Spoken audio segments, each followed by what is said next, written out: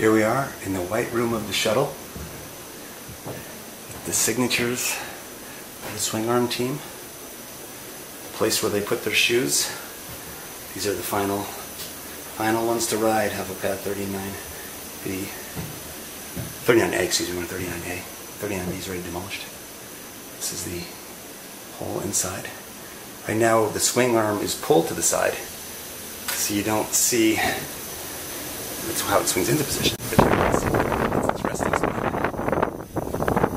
This is the gangplank.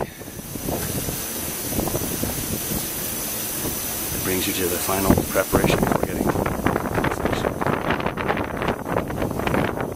the crew from NASA Safety. And let's see. Out, and you can see the flame trench, mobile launch platform.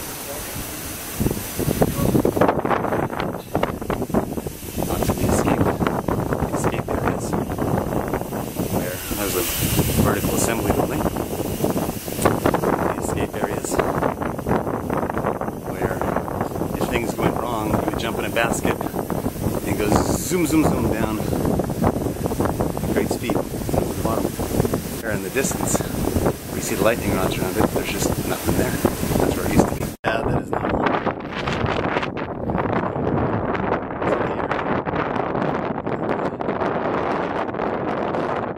Yep, sure, go right ahead, and I'll be right behind you.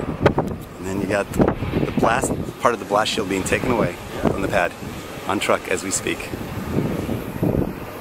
Multiplex water valves, bigger, big style you could buy, so they put several together. Okay, so out we go. Very top.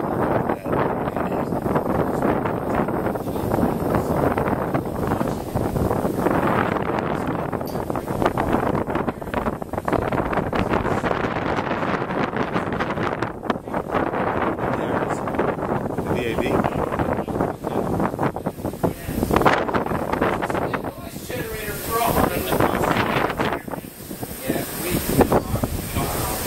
What was this big noise Jenner? It's a, a dryer for GN2. It just uh, has some heaters in it and it dries the gas. Awesome. Oh, by the way, that third pad down there is a SpaceX launch facility. Oh yeah. And this is the dome cap. Vent gases off the top of the shuttle. Hydrogen tank. Yep. Okay. Thanks.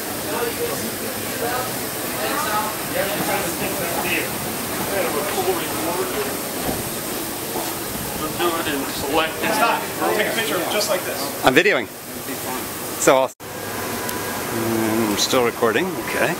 Beautiful beach. Okay, let's go. We're waiting for the elevator.